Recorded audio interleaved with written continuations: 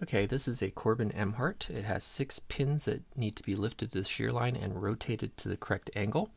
Uh, the driver and key pins interlock with one another, and uh, by having the correct rotation, they're allowed to slide apart, um, and the um, the driver pins will ride along channels in the uh, plug.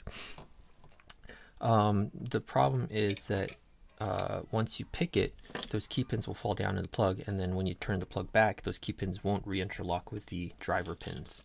So what I like to do is put the key in, that'll rotate all the key pins the correct direction, and go back and forth a couple times. And I like to do this like three times just to make sure that all those um, all those pins have been re-interlocked. Then we'll go, and, and the key, I believe, should reset all the pins to be um, perpendicular as it falls off the end of the the key, but I don't know if that's true or not. So that's a nice centered position to start from. And if you didn't have the key, you could take a blank and just do the same thing. So I don't see it as a big advantage. Um, so that means each of the pins either have to be pushed to the left, centered, or pushed to the right. So if they're all centered, then I only need to move a little bit, right? To try a little bit of movement um, to find the right rotation. So the first one's binding, and it binds really high. So I'm going to lift it up. And it's just kind of mushed into place. I'm wondering if I'm pushing it with the tensioner. Let me back the tensioner out just a little.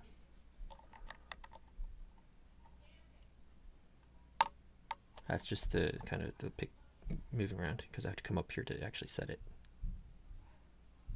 Okay, mushed into place again. I I don't like the feeling of that. I'm gonna try to rotate it some, maybe with this SSDev profile. Let off a lot of tension so that you can rotate it.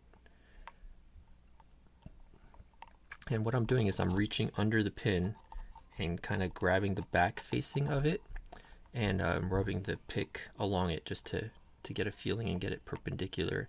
And then maybe rub it a little bit more to one side to get it to rotate. Like I'll, I'll pull on the left side to get it rotate right, and I'll pull on the right side to get it to rotate left. So let's see where I'm at on rotation. It looks like I have it a little bit to the right.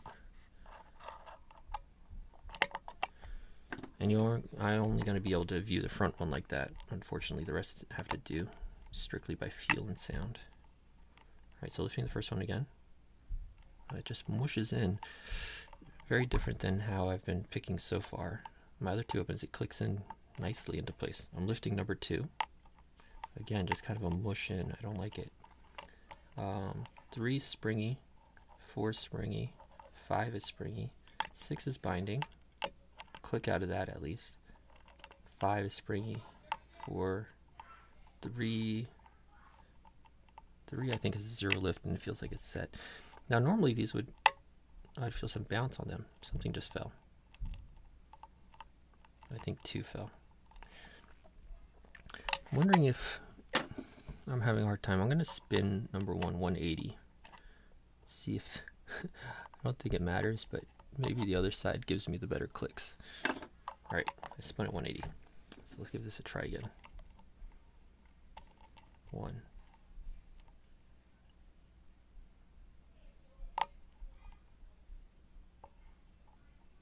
The heck, it just mushes mushes into position. I don't know what's going on with that. Let's rotate it a little more. So that was kind of a left rotation. Let's try more of a right rotation. Oh, that's too much.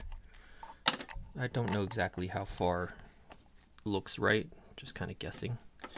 Um, all right, we'll lift number one again. Four minutes in, and we're still working on the first pin.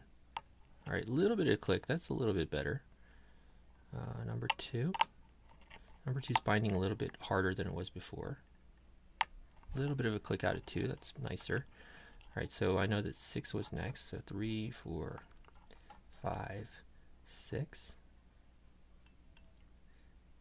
Yeah, six is binding a lot harder. I think that was a click from six. Five is binding now.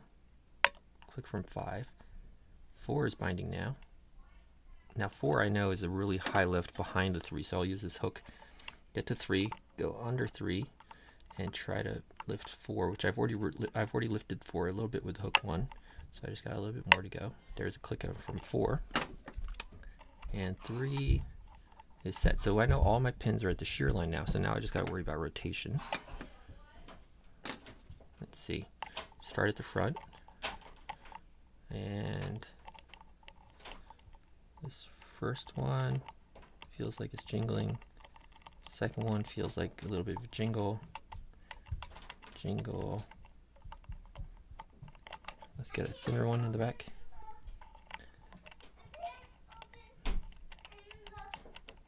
Okay. There we go. Okay, I hear a kid coming down. And let's see, six, five. Maybe it's. You hear that? I don't know what exactly I'm listening for, so let's go ahead and just do each pin. Six, five,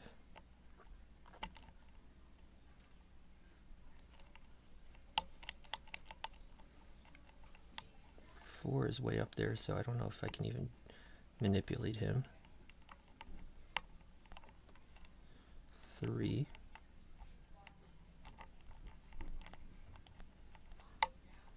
Two. Two's up here.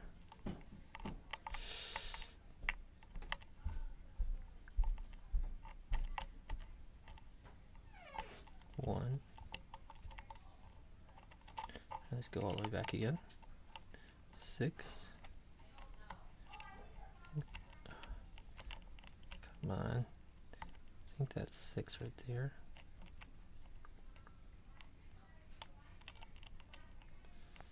Five here. See, yeah, they all sound like they're really loose, so I don't know what exactly I'm listening for. Unfortunately.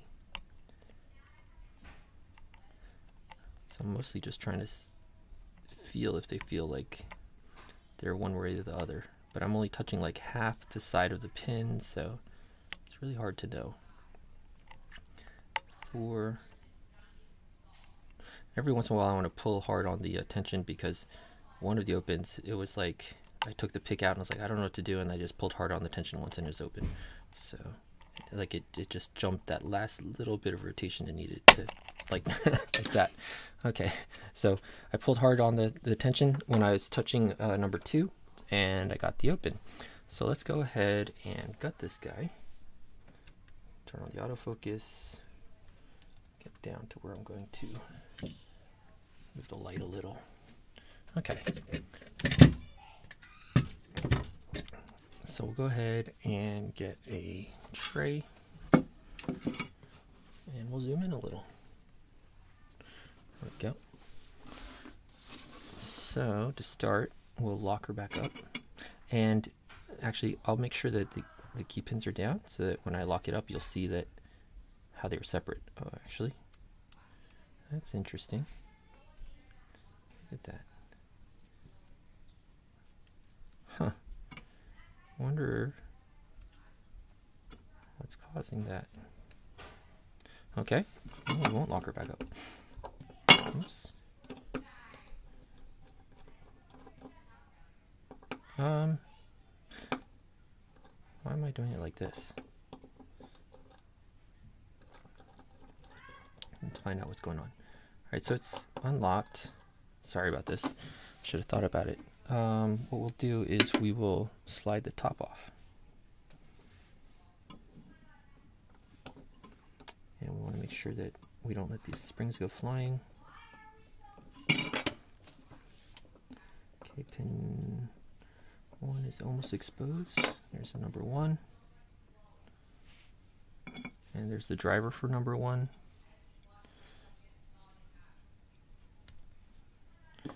Come on.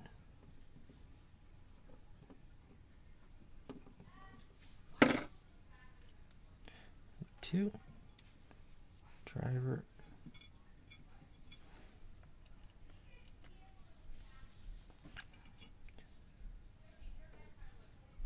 six, five, four, three springs. Driver for three. Oh, check the front door. Driver for four, five, and six. Okay. Now I should be able to get the key pins out. Six, five, four, three,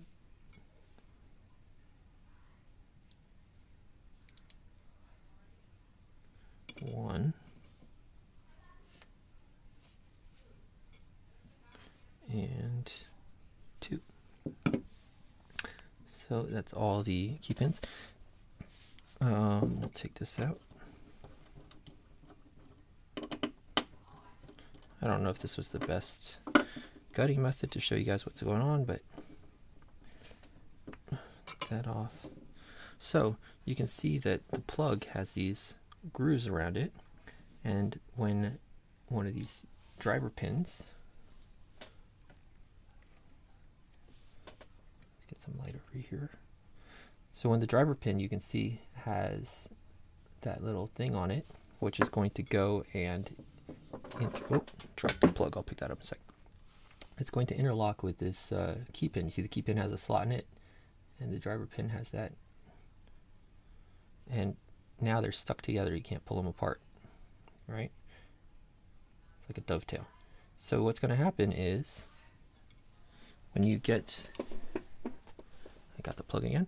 When you get it up to the the shear line, you then have to rotate this so that that slot gets matching with this thing sticking out on the driver.